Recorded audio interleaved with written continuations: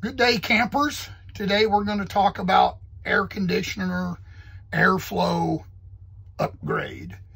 A lot of um, RV manufacturers now are using this Coleman Mach air conditioner and a roof ceiling ducting system.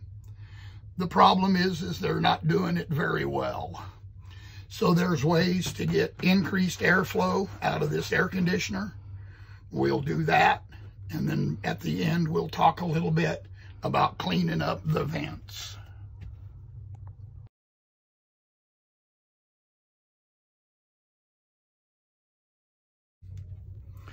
All right, so in here, we got this little divider that is absolutely in the wrong place. We're not going to reuse this. That's going to get thrown away. You'll see these are the vents going to the ducting, one on each side. This is the air inlet.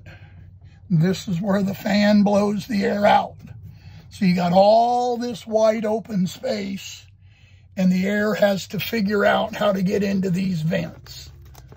So what we're going to do is build a system in here that's going to make the inside of this box smaller and direct the air into these two vents. So the first thing I need to do is I'm going to measure from here to here and I got roughly four and a half inches. Oop. Skipped a step. The first thing I want to cut is this piece because that's going to help me get the dimensions for these two pieces.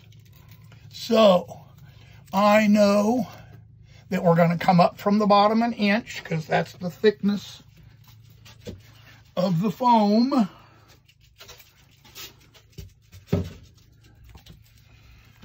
So from the top down to here,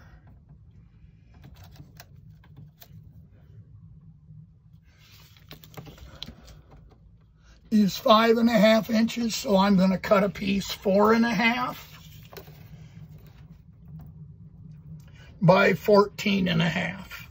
So we'll take a little break. I'll cut those. Okay, so now what I have is a piece cut to fit in here. It's 14 and a half by five and a half. Just to be clear, this was bought from Lowe's. You can get it in the insulation section. It was a two foot by two foot by one inch thick. And we're using regular uh, HVAC um, silver tape. So now what I'm going to do is put this piece in here.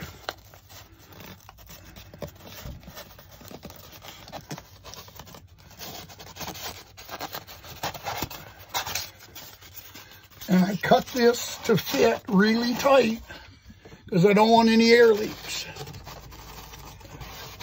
So now what I've done is I've lined it up with the air intake and pushed it all the way up. So now I got the dimensions for the little pieces.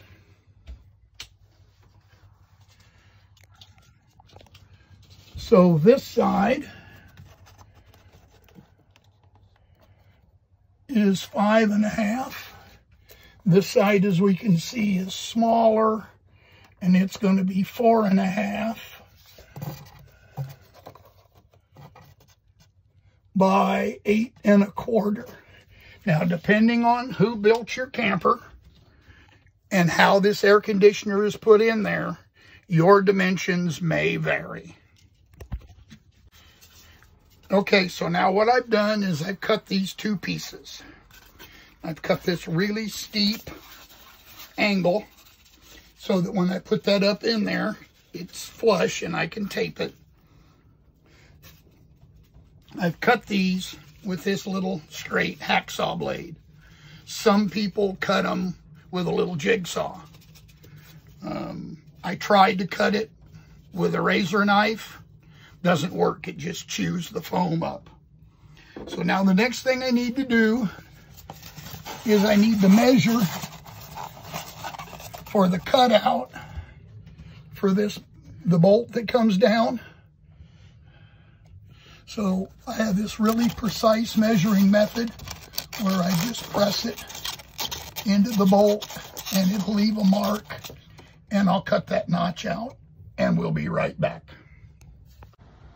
All right, so now what I've done is I've put those two little pieces in here and I've taped everything up where I have a nice smooth transition from this opening to the two vent openings.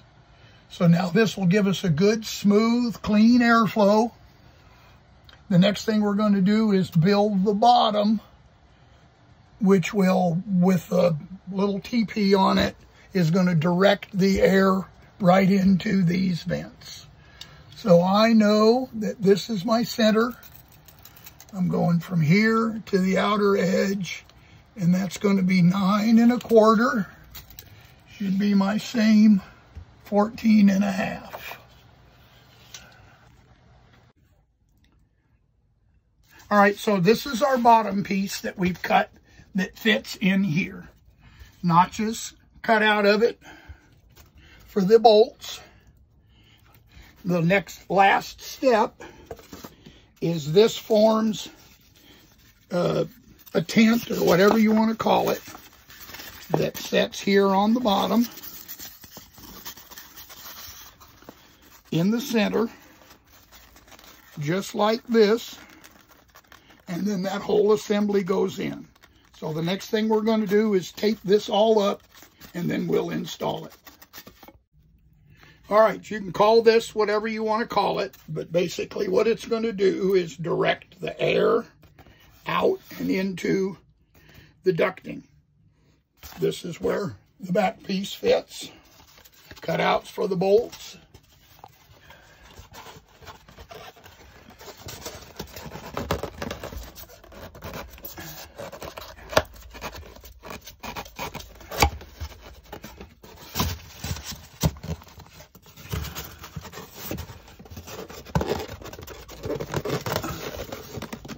And of course, this fits very, very tight. So the last step is you tape all of this up and put the air conditioner back together. All right, so everything is all put together. I have taped up all of the, any place there might be a gap where there might be any air leaking. So now all of the air from the fan is going through the vents. So now we'll put it together and if you'll stick around, I'll talk a little bit about cleaning up the vents.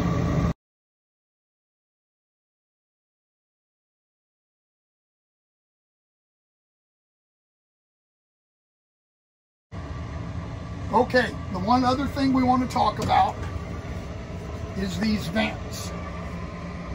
When the factory puts these vents in, they run their tape around this way.